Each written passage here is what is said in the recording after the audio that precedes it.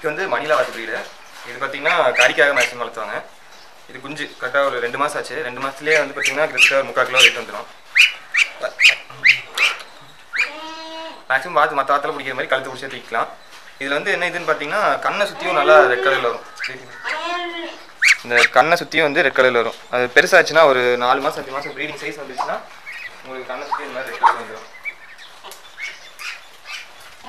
அதில் வந்து பார்த்தீங்கன்னா சேவல் வந்து ஒரு ஆறு ஏழு கிலோ வரைக்கும் கூட ஒரு சில வெயிட் வரும். அதனால தீனி வெயிட் ரெகுலராக தீனி நல்லா போட்டிங்கன்னா மேக்ஸிமம் ஒரு அஞ்சுலேருந்து ஏழு கிலோ வரைக்கும் சேவல் வெயிட் வரும்.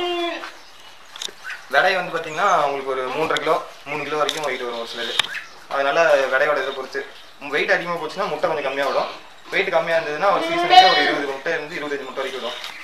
இதே வந்து அடையும் வச்சு குஞ்சு பொறிச்சிடும் அதை குஞ்சு அதே காப்பாற்றி ஒரு ப்ரீடிங் ஸ்டேஜ் வரைக்கும் அதே குஞ்சு காப்பாற்றிடும் அதே மாதிரி புது அலைங்க யாராவது உள்ள வந்தாங்கன்னா கடிச்சு வச்சிடும் அது கொஞ்சம் இது பா வளர்க்கும் போது கொஞ்சம் தனியாக வளர்த்திங்கன்னா பெஸ்ட்டு புது ஆளுங்க உள்ள வரும்போது நல்லா டக்குன்னு கடிச்சிடும் மூக்கு பார்த்தீங்கன்னா கொஞ்சம் வளைஞ்சிருக்கும். அதனால கடிச்சதுன்னா நல்லா உள்ளே இறங்கிடும் மூக்கு. எந்த அளவுக்கு காயப்படுத்தும்? காயம் வந்து மேக்ஸிமம் காலில் பூறது நல்லா காயமாயிரும். மூக்கில் கடிக்கும் போது வலிதாக இருக்கும் போது காயமாகாது வெளிக்காயாகாது ஆனால் வந்து பாம்புல இருந்து எது வந்தாலும் நல்லா இருக்கும். பாம்பு இது எது வந்தாலும் கத்தும். அந்த வெளியில கூஸ் பார்த்தாலும் இப்போ ரொம்ப சவுண்டாக கத்தாதுன்னு வச்சுக்கோங்களேன். ஆனால் வந்து கத்தும் பாம்பு இம்பெல்லாம் வந்ததுன்னா பாம்பு கடிச்சு போடும். இந்த குஞ்சுங்களே வந்து பெரிய சேவலே மிரட்டும். சரி சரி. நாட்டுக்கோழி நாட்டுக்கோழி சேவல் வந்து குஞ்சுங்களே மிரட்டும். நகை வந்து நல்லா கூர்மையாக இருக்கிறதுக்கு. ஆ, நகை பார்த்தீங்கன்னா நார்மலாக வாத்து மாதிரி தான். சரி சரி. நல்லா கூர்மையாக வரும். மற்ற வாத்து மாதிரி தான். கறி வந்து நல்லா நார்மல் வாத்து கறியோட நல்ல டேஸ்ட் நல்லா இருக்கும்.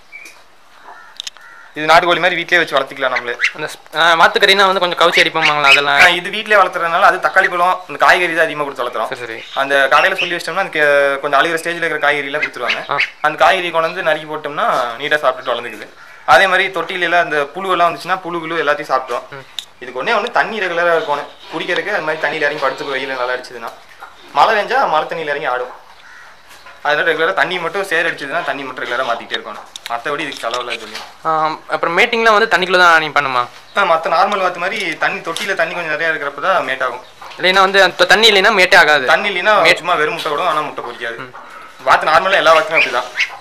ஆஹ் தண்ணி இருந்ததுன்னா தான் முட்டை பொரிக்கும். இல்லைன்னா சும்மா குப்பை அணிஞ்சு முட்டை வர மாதிரி தான் முட்டை நார்மலாக நார்மலாக கடையில் விற்கிற வாத்தோட இந்த வாடு எந்த இந்த வாத்து வந்து எந்த அளவுக்கு பெஸ்ட்டு இது பார்த்தீங்கன்னா கறி டேஸ்ட் நல்லா இருக்கும் நல்லா கறி சிவப்பா இருக்கும். அந்த வாத்து கறியில பார்த்தீங்கன்னா கொஞ்சம் கருப்பு கலந்தாப்புல வரும். இந்த வாத்து கறி வந்து நல்லா சிவப்பா வரும். அதனால வந்து கறி டேஸ்ட் நார்மல் நாட்டுக்கோழி கறியோட கொஞ்சம் நல்லா டேஸ்ட்டாகவே இருக்கும். கொஞ்சம் கவிச்சு நல்லா பிடிச்சவங்க இந்த வாத்து வளர்க்கலாம். குஞ்சு பார்த்துக்கிற திறன் எப்படி இருக்கும்? நார்மலாக தான். மற்ற கோழி நாட்டுக்கோழியில எப்படி குஞ்சு பா காப்பாற்றுமோ அதே மாதிரி தான். இந்த குஞ்சுங்க வந்து வாத்து பெருசாக இருக்குங்காட்டி ஈஸியாக வாத்துக்குள்ளவே ஒளிஞ்சிக்கும். மேக்ஸிமம் எத்தனை முட்டை வச்சாலும் எல்லா முட்டையுமே பொரிச்சிடும் தாய் விட்டு தனியாக போகிறதெல்லாம் வந்து ஒன்று ரெண்டு அப்படி அப்படி போகவே போகாது. தான் எப்பவுமே தாய் கூடவே தான் இருக்கும். இந்த சைஸ் ஆன ஆயுமே தாய் கூட தான் இருக்கும். முட்டை பொய்க்கும் திறன் இதுக்கு எப்படி இருக்கு? முட்டை எத்தனை முட்டை விட்டாலும் மேக்ஸிமம் எல்லா முட்டையும் பொரிச்சிடும் நார்மலாக நாட்டுக்கோழி அடை வைக்கிற மாதிரி தனியாக முட்டையை கொஞ்சம் கூலிங் வச்சு பாதுகாத்து ஒட்டுக்கா வச்சு விட்டோம்னா பொரிச்சிடும் ஒரு டைம்க்கு இருபத்தஞ்சு முட்டை வரைய விடுமா? ஆ இது பொறுத்துங்க. வெயிட் பொறுத்து. மூன்றரை கிலோ மேலே இருக்கிற வாத்து வெயிட் ஏறி போச்சுன்னா முட்டை கம்மியாக விடும். வெயிட் நார்மலாக வச்சு மெயின்டைன் பண்ணுறோம் கொஞ்சம் சதை போடல அப்படின்னா முட்டை நிறைய விடும். கோழி மாதிரியே தான் அப்படி. அப்படியே நாட்டுக்கோழி மாதிரி இது நாட்டு வாத்துன்னு வச்சுக்கோங்களேன். எத்தனை நாள் ஆகும் பொறிக்கிறதுக்கு நாட்டுக்கோழினா இருபத்தொரு நாள். இது இருபத்தெட்டு நாள். இருபத்தெட்டு? ஆ இருபத்தெட்டு நாள். இதுக்கு வந்து ஊசியோ இல்லை வேற அந்த மெடிசனோ அதெல்லாம் எதுவுமே தேவையில்ல. கோழிக்கு வர எந்த நோய் இதுக்கு வராது. அதே மாதிரி வாத்துகளுக்கு ஏதாவது ஒன்று ரெண்டு நோய் வரும். ஆனால் இந்த வாத்தை பொறுத்த வரைக்கும் நான் வீட்டில் வளர்க்குறதுனால எந்த நோய் வந்ததில்லை இது வரைக்கும். அதே மாதிரி கோழிக்கு வர நோயிலையும் மேக்ஸிமம் அந்த புழுவில் வர்றது கொசுவால் வர்றது இந்த மாதிரி நோயெல்லாம் மேக்ஸிமம் இந்த புழு எல்லாத்தையும் சாப்பிட்றதுனால கொசு புழுவோ இல்லை மற்ற நோய்களோ அது வராது. அந்த தொட்டில எல்லாம் கொசு புழு முட்டை விட்டு புழு வச்சிருந்தாலும் அந்த புழு எல்லாம் சாப்பிட்ரும் ஃபீல்டில் என்னென்ன தரீங்க ஃபீடுன்னு பார்த்தீங்கன்னா தக்காளி பழம் அப்புறம் அந்த அழுகி போகிற மாதிரி இருக்கிற காய்கறி எதுனாலும் கொடுத்துருவோம். அதுக்கப்புறம் சாப்பாடு வந்து நம்ம வேஸ்ட் மீதியாக சாப்பாடு போட்டாலும் சாப்பிட்றோம். தயிர் கலந்து போட்டால் நல்லா சாப்பிட்ருது ஏன்னா இது பொங்கு ரொம்ப அதிகமாக இருக்கும். அதனால உடம்பு சீக்கிரமாக சூடேறிடும்.